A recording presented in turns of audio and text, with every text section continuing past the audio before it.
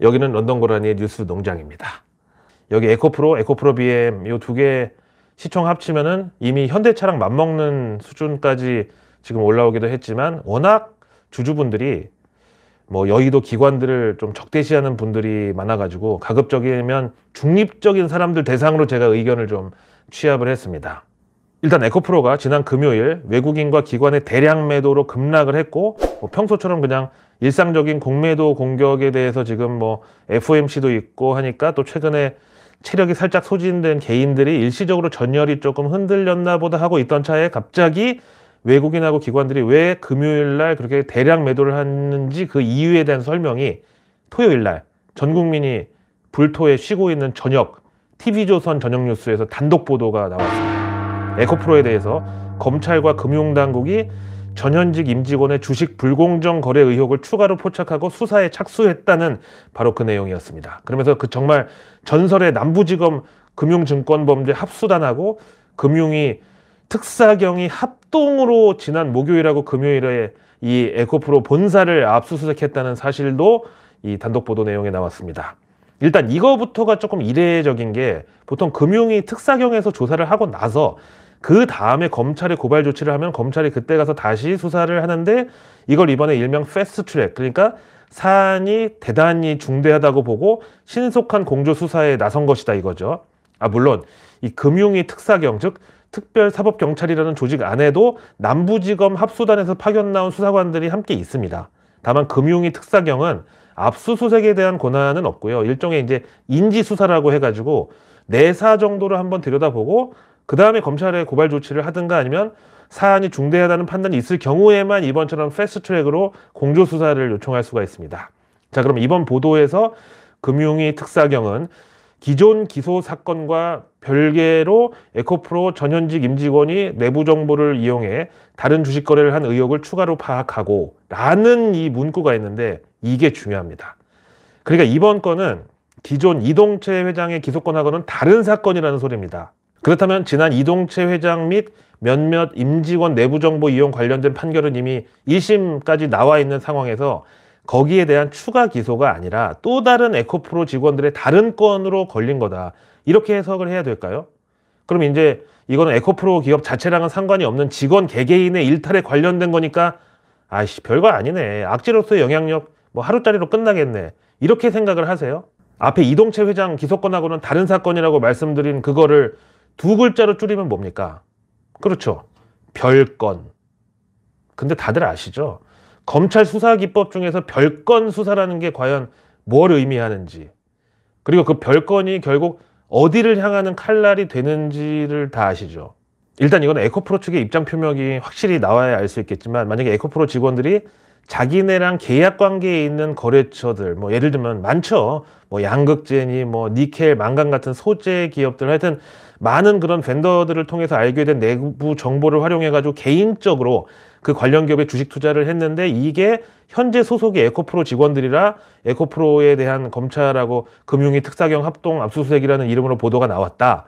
이러면 이제 정말 happy한 케이스가 되겠죠. 게다가 2021년 그 건에 대한 추가 건이다.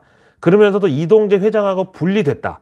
이러면 이제 더더욱 진짜 더할 나위 없이 좋은 케이스가 되겠죠. 하지만 문제는 공시든 보도자료든 하여튼 에코프로가 최대한 빠르게 이번 압수수색은 회사와는 관계없는 일부 직원들의 개인적 일탈과 관련된 것이다. 이렇게 입장 표명을 확실히 할 수만 있으면 좋은데 왜 아직 안 하고 있을까? 그리고 압수수색을 16, 17일 이틀에 걸쳐서 나갔다는데 목요일, 금요일 동안 거기 회사 직원들이 몇 명인데 그리고 압수수색 하면은 한두 명이 나오는 게 아니거든요. 봉고차 한 다섯 대 와가지고 박스 들고 막 왔다 갔다 하고 난리 나는데 그 대로변에 있어요. 에코프로 비엠 그 본사 그 입구가 바로 버스 정류장 옆이란 말이야. 그렇게 보는 눈도 많은 그런 상황에서 왜 이게 아무도 모르고 있다가 토요일에 그것도 TV조선 전용 뉴스에 단독으로 소개가 됐는지 이것도 우리가 생각을 해봐야죠. 여기에 대해서 TV조선 측은 임직원들의 이상 주식거래 징후를 발견한 한국거래소의 통보로 금융위 특사경이 수사에 착수한 건이라고 이렇게 설명을 하는데 아니 한국거래소가 무슨 이상 주식거래 정황만 포착하는 업무 전문으로 하는 데도 아니고 왜 하필 에코프로인가? 이게 이제 누가 제보를 한 게 아닌가? 또 그럼 이거 에코프로 측에서 알아보니까 일부 직원들의 개인적 일탈 이렇게 꼬리 자르기가 사실상 불가능하다고 판단을 해서 지금 저렇게 뜸을 들이는 거 아닌가 이런 걸 좀 의심을 해봐야 됩니다.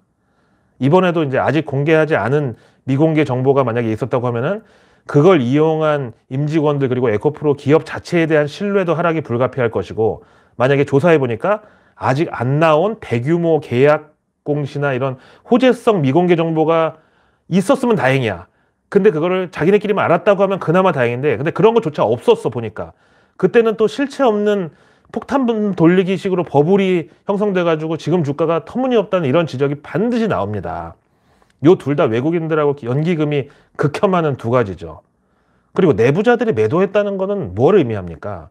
과거 현대차 애플카 협업설 그때 현대차 임직원들 다 24만 원에서 26만 원 사이에 다 던졌는데 그거 동학개미들이 다 받아먹고 결국 28만 원까지 올렸다가 그 다음 어떻게 됐죠?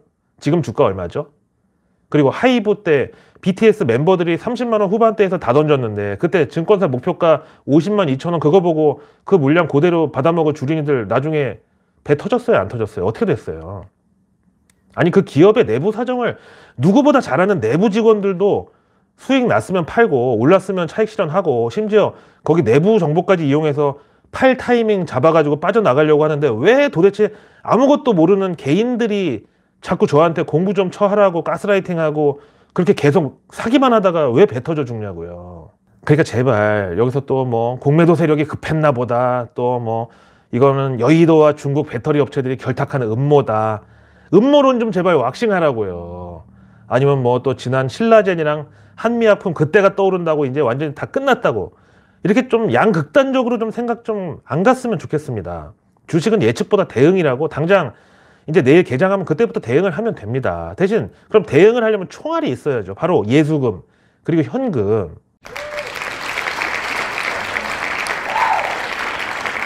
벌써부터 제 댓글에다가 뭐 개관들이랑 결탁해가지고 아주 그냥 떨어뜨리려고 발락을 하는구나.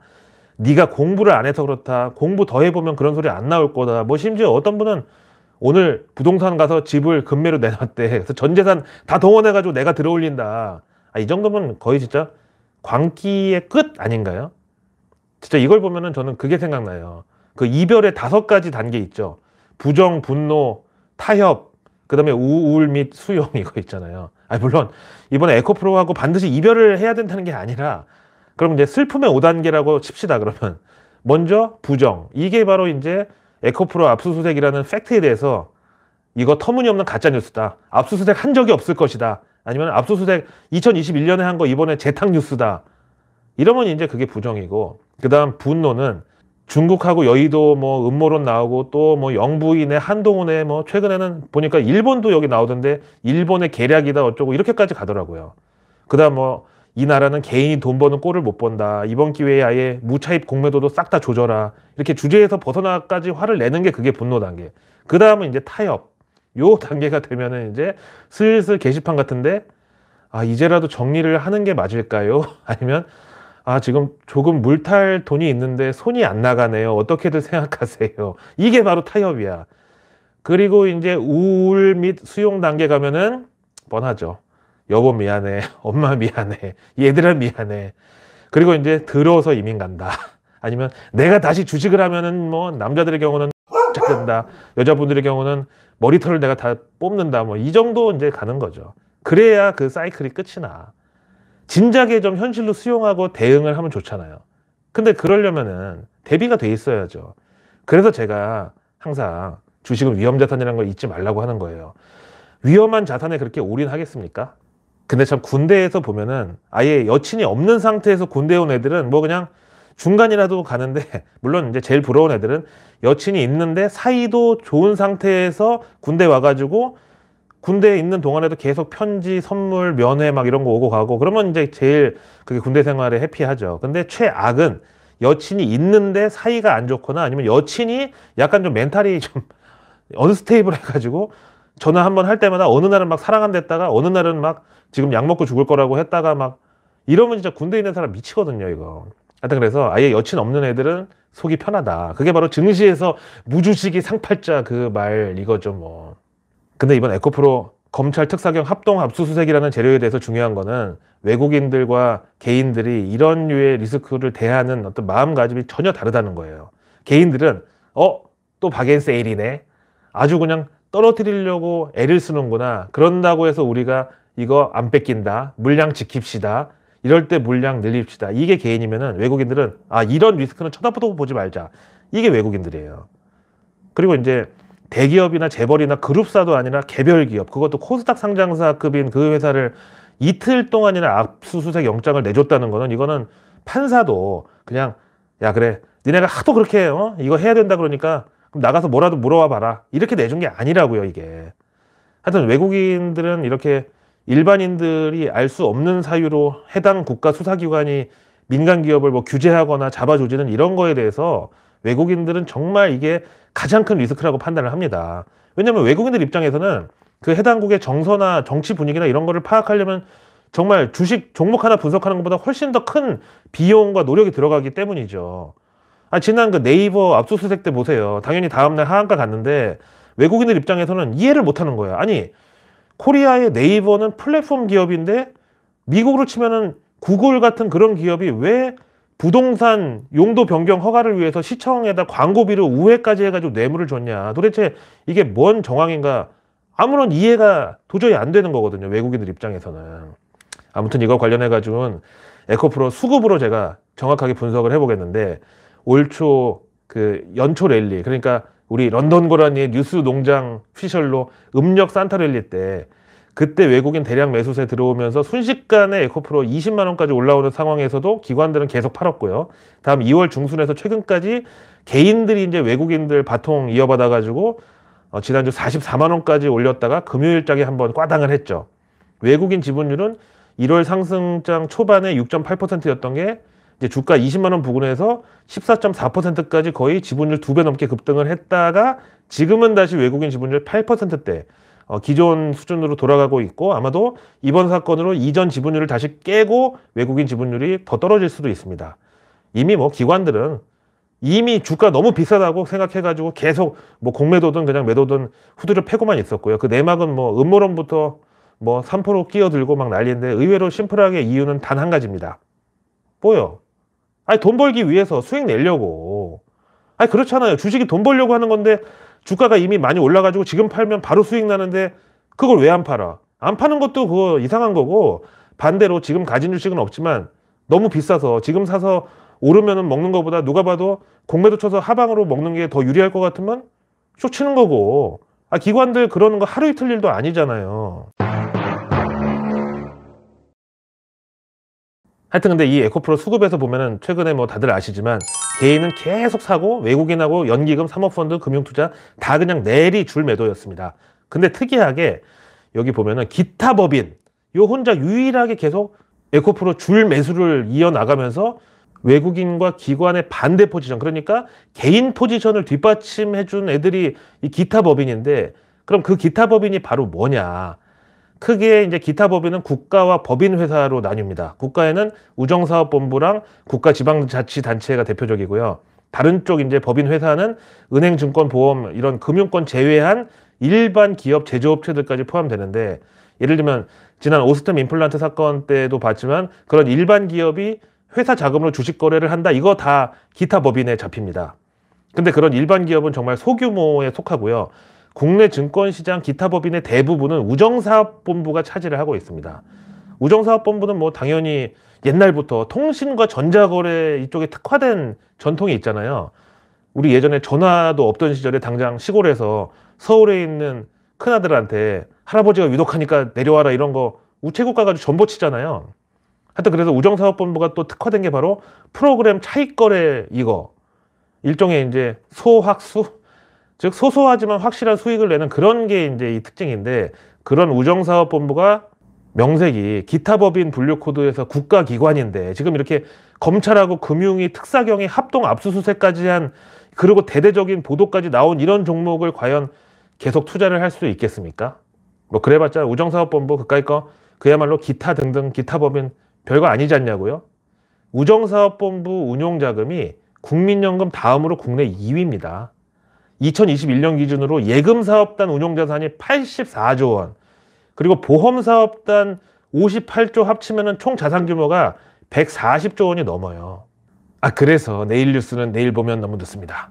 구독과 알림 설정만으로 우리 런던 고라니의 뉴스 농장 가족이 되시면 매일 저녁 아직 나오지 않은 오늘 뉴스도 아닌 내일의 뉴스를 제가 여러분들의 안방으로 직접 배달해 드립니다.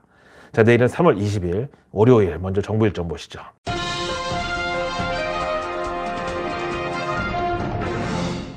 먼저 산업부가 2월 자동차 산업 동향을 발표하는데 하여튼 뭐 당장 이날은 전혀 관심을 못 받겠지만 계속 친환경차 보급 대수를 좀 우리가 볼 필요가 있죠. 그래야 이게 충전소랑 인프라가 이제 따라가는데 어, 서로 인터랙티브하게 영향을 주고받으니까요.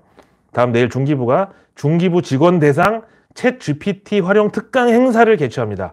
아, 요거 이제 뉴스 기사에 막 그 도배가 되기 좋죠. 그림도 이제 찍기 좋고. 뭐 정부 부처 공무원들이 ChatGPT 교육받는데 무슨 무슨 질문을 넣었더니 ChatGPT가 뭐라고 답을 하더라. 이런 식으로요. 다음 내일 해수부가 수산식품 수출기업 육성을 지원한다라는 보도자료를 공개할 예정입니다. 요거는 후쿠시마 수산물 관련된 국내 K seafood 요쪽이 증시 테마에서 주인공이죠. 다음 증시 관련해 가지고는 일단 지금 미국 쪽이 워낙 시끄러우니까 중국에서 우리가 모멘텀을 찾아봐야 되는데 내일 우선 중국의 FOMC라고 할 수 있는 인민은행 LPR 금리 발표가 있습니다.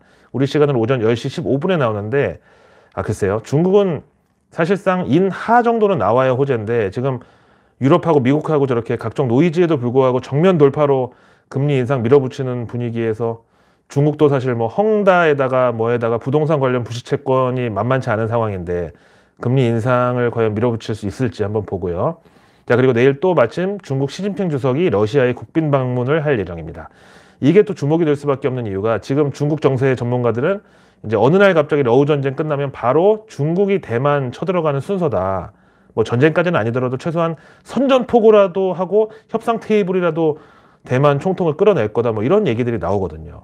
다음 우리 K 증시 내일 월요일 일정을 보면은 하나 스펙 27호랑 삼성 FN 리츠가 이틀 일정으로 수요 예측에 나서고요.